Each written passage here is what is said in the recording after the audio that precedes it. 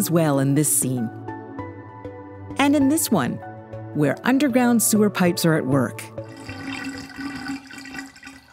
Some contain sewer water gurgling its way from homes and businesses to wastewater treatment plants. Other pipes are ready to collect rainwater from catch basins on the streets and carry it to waterways through outfalls.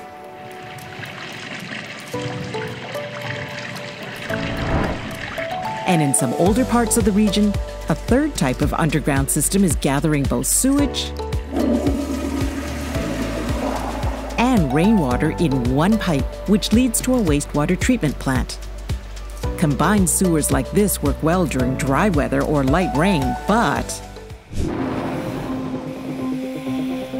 as West Coast people know, it rains here a lot, especially in winter.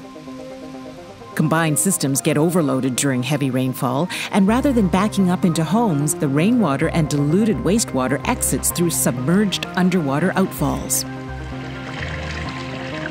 These sewer overflows are detrimental to aquatic life and the environment. That's why Metro Vancouver and the member municipalities are making changes to the system in a variety of ways. Each year, a portion of combined sewers are removed and replaced with separate twin pipes.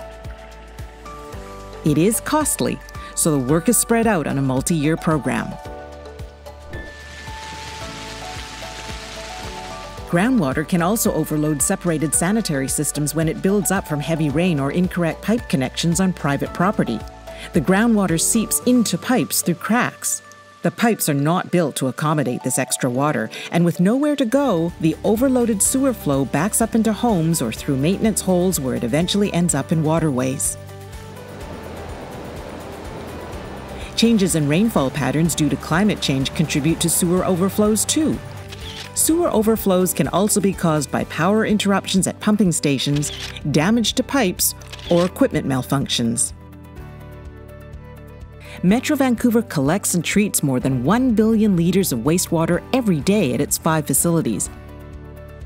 And protection of human health and the environment is a primary directive for Metro Vancouver and member municipalities. For aging pump station machinery, pipes, and valves, a program of assessment and replacement or repair is underway. Like this sewer main repair, taking place at night when flows are lower. Long term planning to meet the needs of a growing population means that expansions are proceeding at facilities like the Northwest Langley Wastewater Treatment Plant, and across the Fraser River, where a new storage tank is being added which will temporarily hold wastewater to prevent overflows during storms. That's the lowdown on why sewer overflows happen and what Metro Vancouver and member municipalities are doing to prevent them.